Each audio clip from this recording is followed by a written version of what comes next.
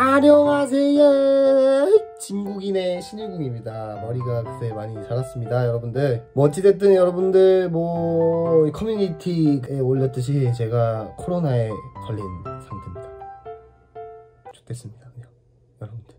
그래가지고 예전에 저 밀접 접촉자 14일 격리했던 거랑은 좀 다르게 11월 1일부터는 이제 10일로 좀 줄어들었다고 하더라고요. 그래서 저는 11월 11일에 격리가 풀리게 됩니다. 그 말인즉슨 10일간 저는 뷰티플러에서 할 수 있는 것이 아무것도 없다는 것이죠. 그냥 뭐 쉬, 쉴게요, 여러분들. 쉬겠습니다.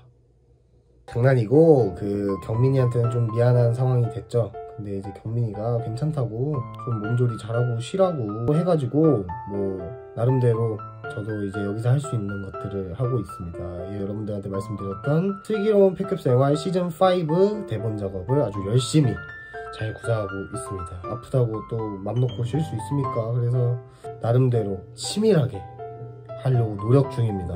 네, 여러분들 재밌게 만들어 볼 테니까요. 조만간 올라오는 슬기로운 패급 생활 시즌5 여러분들도 재밌게 봐주셨으면 좋겠습니다. 캐스팅도 많이 했습니다. 그리고 코로나19 증상에 대해서 좀 설명을 드리자면 저는 무증상이 아닙니다.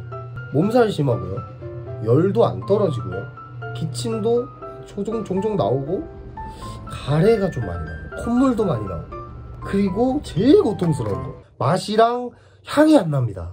얼마 전에 그 김치찌개 먹고 싶어가지고 그 배달 팁 4,000원 주고 김치찌개를 시켜서 먹었어요. 스팸 김치찌개였는데 김치찌개에서 스팸을 딱 꺼내서 밥 위에 싹 올려가지고 이제 한 숟갈 딱 먹으려고 입에 넣는데 아무 맛도 안 나더라고. 아, 스팸 말고 리챔 넣네. 이 생각하고 국물 딱 떠먹어 봤는데 김치찌개 맛 하나도 안 나고 소금 안 넣은 사골 맛이 나더라고요.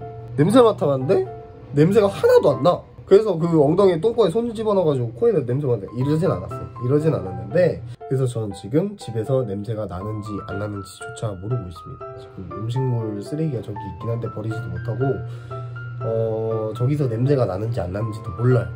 그리고 제가 지금 원룸으로 이사를 왔잖아요. 너무 심심하다가 아무한테나 다 전화 걸고 뭐 그래도 다행히도 컨디션이 조금 회복이 된 상태입니다. 또 언제 아플지는 모르겠어요. 아프면 진짜 아파. 나 못 움직여요. 여기 누워가지고 아무것도 못해요. 뭐 저는 나름대로 열심히 할 거고 나도 열심히 할 거지만 기다려 주셨으면 좋겠습니다.